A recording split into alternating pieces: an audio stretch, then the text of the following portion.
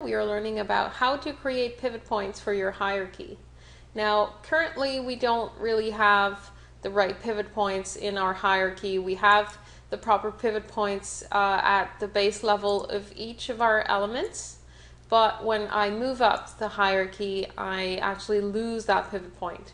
Now, since we are using drawing pivot points, um, the importance of having the proper pivot point on these uh, different pegs actually is very, very important because that pivot point changes from one view to another. So if I wanted to set up the pivot point at the peg level, I would just simply go inside my advanced drawing tools. For instance, the uh, rotate tool that I have here. This is a toolbar that you can bring in from the Windows toolbar menu.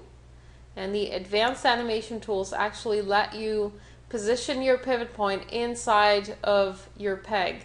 So it's going to be a value that is fixed inside of there. If I click on the yellow box right here, I can see that each of my pegs is going to have this uh, under the transformation tab. I have pivot, uh, which can only be positioned in X or Y axis, and I could come and position my pivot by dragging it onto the right spot. But then what happens if uh, I want to position it in the proper way for both of my drawings? Because now if I switch to my other one, you can see that my pivot point is just staying in place. Now I don't want to use the peg pivot point for this, so I'll just reset it back to zero. And when it's at zero value, of course, it's going to be in the center of my camera, just like so. Now, in order for my drawing pivot to be read on my peg right here, what I can actually do is go and select the, um, the piece that has the proper pivot point. I'm going to copy it and paste it.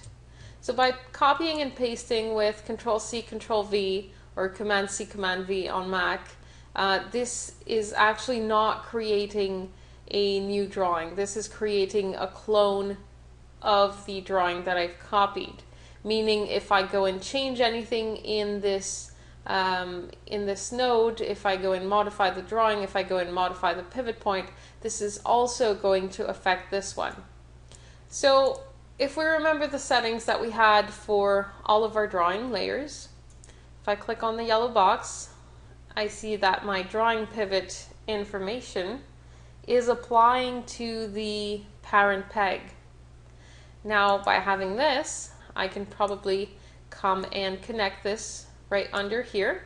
And as you can see, my pivot point is now in the proper place.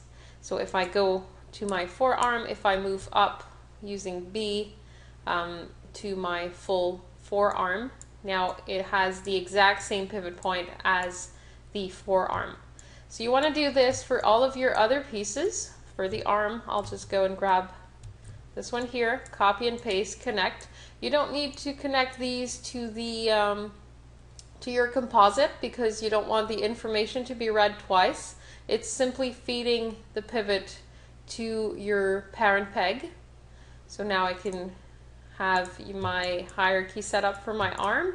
If I wanted to, I could move the hand, I could move the arm a bit, and move the entire arm by moving up and down the hierarchy, and they all have the proper pivot point. So the important thing with this is that it also works with my quarter front view as well because these are separate drawings. So now when I switch to front or quarter front, the pivot point information updates and it updates as well in these ones. So you want to go and do this for all of your layers and for the pegs that don't necessarily have the uh, the information that you're seeking, you can go and position these on the uh, pivot of your peg by going into the advanced uh, animation tools. So you can go and reposition it just like this.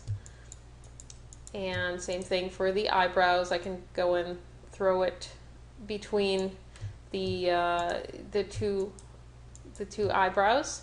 And I'm going to go and reposition every time I have a junction peg that has an information that I have already inside of my drawing tools and that is appropriate, then I'll just go and copy and paste it, connect it under. So you can do this for all of your layers and in the next step we will learn how to merge these different pieces so that we get rid of those lines. See you there.